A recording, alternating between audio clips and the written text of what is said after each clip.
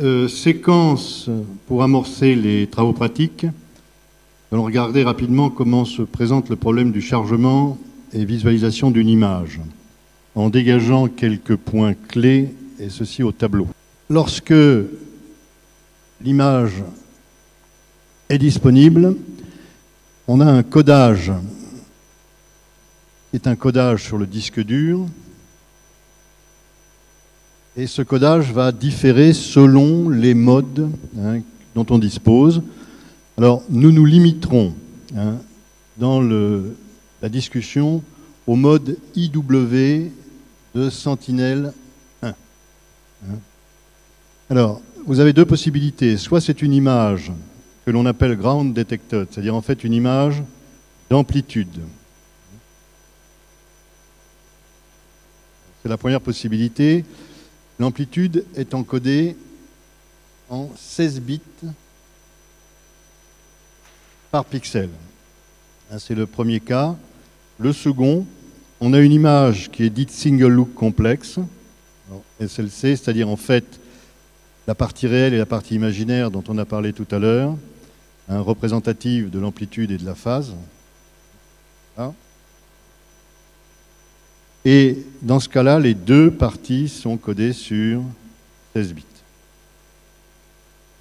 Alors évidemment, le cas le plus simple, c'est le premier cas, amplitude, où on va pouvoir visualiser l'amplitude.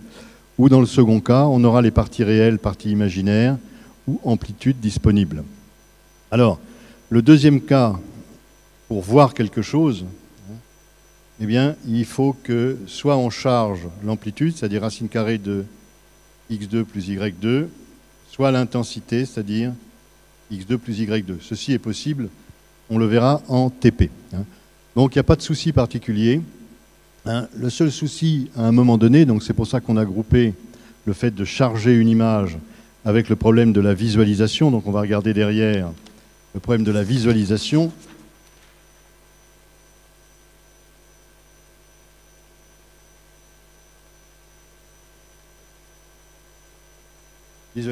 C'est que on a une image en 16 bits qu'on doit transférer en 8 bits pour qu'elle soit prise en compte par l'écran. Donc il est clair qu'à ce niveau-là, il y a une compression d'information, compression d'information que l'on gère plus ou moins hein, en fonction des besoins que l'on a. Alors la plupart du temps, ce transfert du 16 bits en 8 bits se fait sans prévenir l'opérateur, il voit une image et puis ils sont satisfaits. Maintenant, il y a une possibilité de travailler un peu plus précisément sur la manière dont l'histogramme des images en 16 bits est converti en image, en histogramme d'image 8 bits.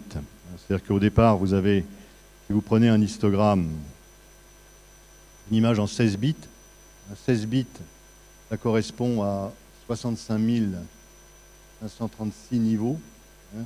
Alors 8 bits, bien évidemment, c'est 256 niveaux que l'on connaît, 2 puissance 16 et 2 puissance 8. Donc on va avoir un histogramme en 65 536 niveaux. Alors on va jusqu'à 535 parce que le 0 est inclus. Et cet histogramme de l'image en 16 bits va nous fournir une figure. Et c'est à partir de cet histogramme que l'on convertira en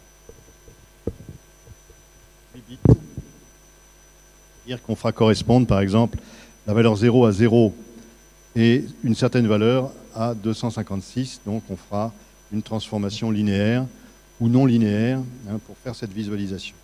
Alors, on le verra en TP, hein, c'est une pratique qui est courante pour pouvoir revisiter l'image, disons, en ne se contentant pas de ce qu'a fait le système d'une manière automatique au départ. Nous allons voir maintenant quelques exemples hein, d'images pour vérifier à la fois, euh, avoir une image, pardon, une vision assez simple de ce qui a été dit sur les parties réelles, parties imaginaires, phase ou amplitude tout à l'heure, et également le problème de la visualisation.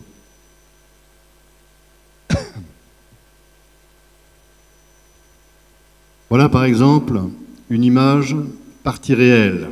Alors, nous reviendrons sur ce problème des parties réelles et parties imaginaires qui donne l'impression de, ne présenter aucune information. Donc nous verrons ce sujet plus en détail à l'occasion d'un parcours au niveau de ce qu'on appelle le chatoiement ou le speckle en anglais, terme plus connu et plus ordinaire, et qui sera vu dans la séquence filtrage. Dans l'immédiat, on charge une partie réelle, on a on a vu, c'est-à-dire pas une information peu explicite, pareil pour la partie imaginaire, et si on fait la phase, la même chose. C'est-à-dire que on a l'impression d'avoir affaire à un bruit euh, parfait, on va dire, réparti uniformément entre 0 et 255 pour tous ces éléments. Par contre, si on calcule l'intensité, que voilà, hein, on a l'apparition d'une image, et qui est significative évidemment du milieu qui nous intéresse. Alors d'après ce qu'on a vu tout à l'heure, on a de la végétation, on a la terre.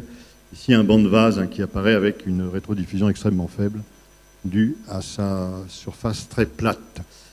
L'amplitude que l'on obtient racine carrée de I est quelque chose qui est un peu moins contrasté que l'intensité.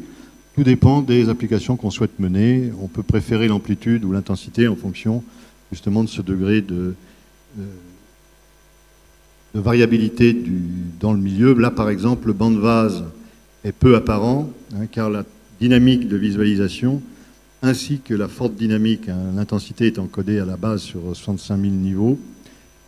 L'amplitude est codée sur un nombre de moins important de niveaux, mais néanmoins supérieur à 256. Hein, on retrouve des images qui sont évidemment euh, coïncidentes, mais avec des informations légèrement différentes au niveau visuel, au niveau automatisme, ce serait exactement la même information. Cette illustration pour montrer ce qui se passe lorsqu'on veut convertir le 16 bits en 8 bits. Là, nous étions en 16 bits à la base, nous le visualisons en 8 bits. On a changé de scène. Là, on est sur une petite ville, une ville d'Amérique du Sud, à Cayenne. On a ici une certaine transformation de 16 bits en 8 bits qui préserve l'ensemble des niveaux de l'image. Donc, on a l'impression d'avoir une image confortable.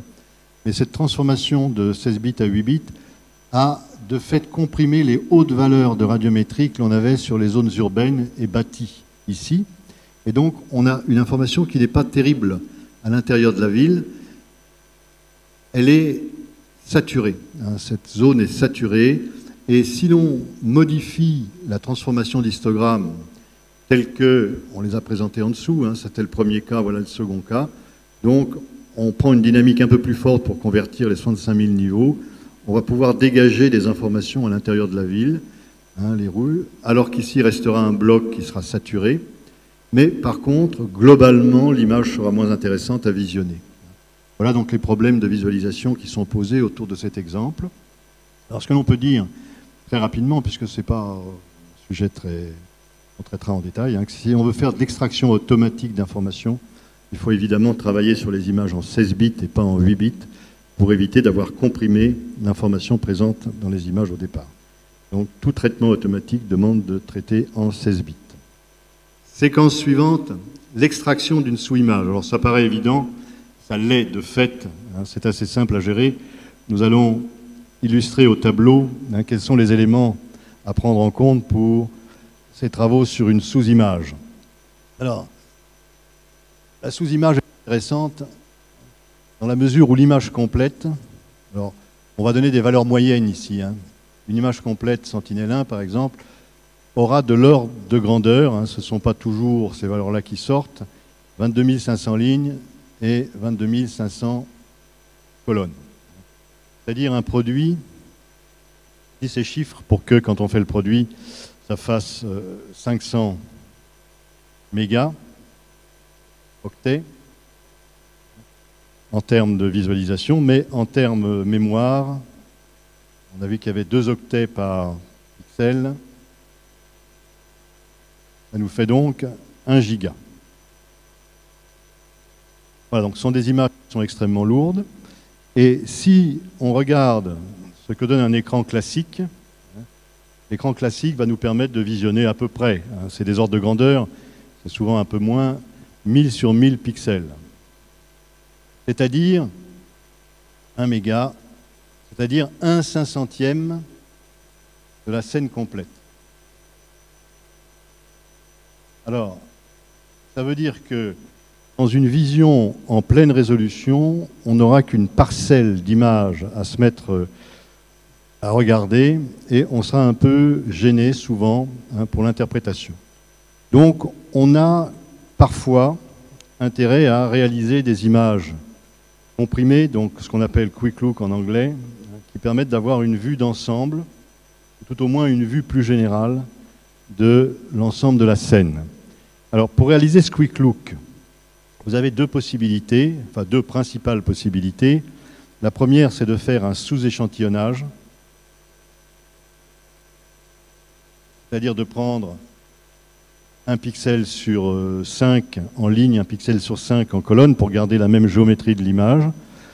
Et la deuxième, c'est de faire un Moyen Âge plus ou moins sophistiqué avec réduction de la taille. Donc, Moyen Âge d'image avec réduction de taille adaptée. Alors, je vais simplement préciser ce que veut dire ce Moyen Âge avec réduction de la taille adaptée sur le papier qui va suivre, hein, et discuter un peu des propriétés propres de chaque objet, donc soit le sous-échantillonnage, soit le Moyen Âge. Alors, le sous-échantillonnage, quand on le pratique hein, sur une image, on va prendre par exemple un pixel sur 10 en ligne et en colonne. Là, je pose 1 sur 10 en ligne, 1 sur 10 en colonne. Si on avait initialement 22 500 pixels, on va arriver à eh bien, 2250 sur 2250. Donc une image qui sera beaucoup plus manœuvrable. Le fait de sous-échantillonner va générer une image qui donnera l'impression d'être très bruitée. Alors, le, détail hein, de ce problème, on le verra tout à l'heure en traitant les notions de filtrage. Hein. Image très bruitée dans le cas présent, qui est difficile, qui est peu intéressante, on va dire, à visionner, parce qu'on a maintenu un bruit très fort. L'autre possibilité, c'est le Moyen Âge, avec réduction de taille adaptée, c'est-à-dire que on va, partant de notre image de 22 500 lignes, 22 500 colonnes, récupérer des pavés de 10 sur 10 et à chaque pavé de 10 sur 10, calculer une moyenne qui donnera lieu à un pixel dans la nouvelle image. Et notre nouvelle image, donc, fera, comme on l'a dit tout à l'heure, la même chose, évidemment, 2250 lignes et 2250 colonnes. Alors l'avantage de cette pratique, c'est ce qu'on verra tout à l'heure en abordant les questions de filtrage, c'est qu'ici, le chatoiement, donc le speckle, donc la variabilité, hein, variabilité de radiométrie a été réduite.